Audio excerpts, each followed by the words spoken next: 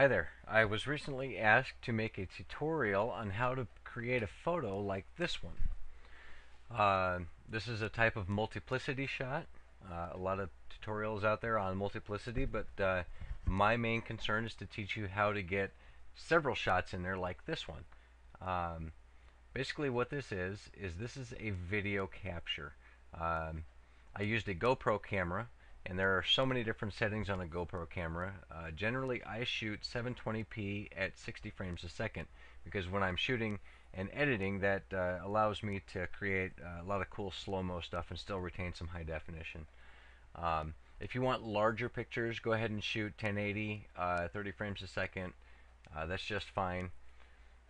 Basically, what you're trying to do is capture more frames than the camera is actually able to do while pressing the shutter. Uh, in picture mode or in burst mode for the GoPro, you're able to do 10 frames in one second. Well, these guys can make it from beginning to end in less than a second, and I have about 16 frames here. So I'm going to teach you how to import some uh, frames from video and how to put them together. So what we'll do is uh, come on up here to File, and we want to find uh, Import, and we're going to Video Frames to Layers. Uh, you want to pick, uh, to get something like what I'm doing here, you want to pick a stationary uh, shot with action throughout the shot. Uh, and this one here is uh, is a good example, so we'll load that. it's it's you need to find a good balance uh, for how fast your object is moving versus how many frames a second you're shooting. What I tend to do is I shoot 60 frames a second so I really need to uh, limit how many frames I'm actually bringing in. And this is going to limit to every two frames to start with, but I don't want that. I am actually going to want about every eight frames, eight or nine frames. Let's go with nine, uh, because this guy is not moving very fast through the through the frame, uh, and I'm shooting at such a high rate of speed. Uh, so basically, it's uh, yeah, 9 frames, and we're going to select a range. I don't want to import the entire video, I want to select a certain range. Um, and one thing you can do is uh, click it wherever you want, you can see where the playhead stops and it'll show you a preview image, or hit play, and what that's going to do is it's going to show you your action. Alright, so we're going to take that guy there, and right where it sits is where I stopped it. We hit our shift key, and I can drag backwards. This is selecting my area. So we're going to stop there. I can see him at the beginning. It's about where I want to be. Click OK. And give me just a few seconds here and this will load up into, into the different frames. And you can see that we loaded uh, 14 layers. Well, with our last layer showing, we can uncheck the eyeball and it's going to show us the next frame. And then the next frame. So what we want to do is, okay, this is where I want to stop, okay? Uh, this guy here, I don't even need this frame. So I'm going to go ahead and delete that one. Uh, then I will uncheck all the way down through just to verify that I'm getting images that I want. And then our last frame there, this is where we're going to start. So recheck all your eyeballs uh, so we can see all the layers.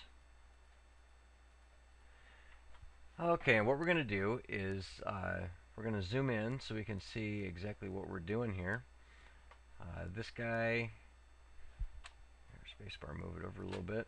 What we want to do is we want to use our quick selection tool. And we are going to select this guy. It's going to be kind of rough. I'm not trying to be perfect here. I just want to give you guys a quick idea of how you're doing this. Um, you don't want to get too far into this area though because this is where your next frame is going to be. Uh, the layer below, if you uncheck this, the layer below you can see where he is. So you kind of want to be a little bit specific when it comes to that edge. So we'll check back that one. Um, we refine here a little bit. That's actually not too bad. I can get a little bit closer though.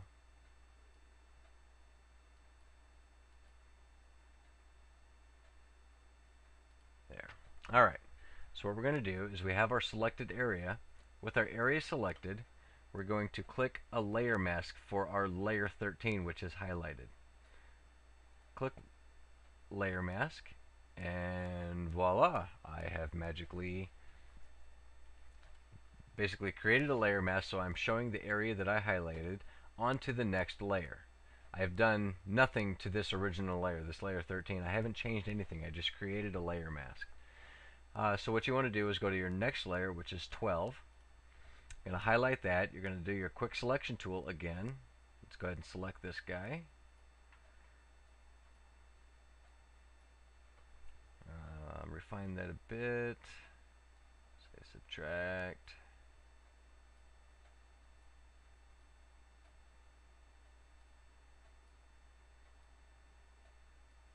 Okay, like I said, it's not very important that this half uh, be very uh, well selected because it doesn't matter. This is not, we're going to take this area and this area and overlay it onto the next layer. Uh, this area is where you, you want to be um, uh, specific. Uh, and this is going to be you know, different for everybody because everybody's going to have a different direction that they're going. So the direction that I'm going, I need to be good on the right. So here we go. Uh, layer 12 is highlighted, our image is selected, and we're going to click Layer Mask. And there we go again. Uh, so let's run through this real quick. Layer 11. If you need to get a good idea of where your next layer is, uh, you can always start unchecking the eyeballs and you can see see this guy here completely on his own. It's all good. So we'll take this, go ahead and recheck our eyeballs there so we can kind of see where we're progressing.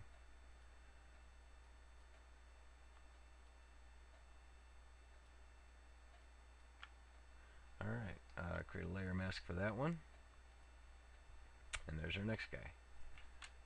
Move the image over a little bit. I'm going to run through these really quickly. I'm actually not even going to do all of them for you because this is going to get too long.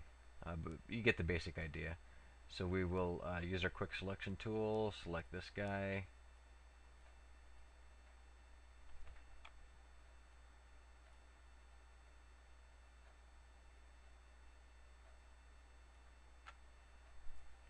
Create a layer mask. And there's the next one. Do one more to show you quick selection tool.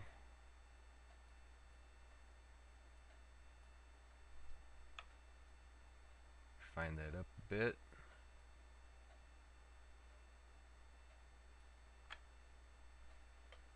Create layer mask. Bam, there's another one. Oh look, we missed an arm. Alright, that's easy to do. Control Z.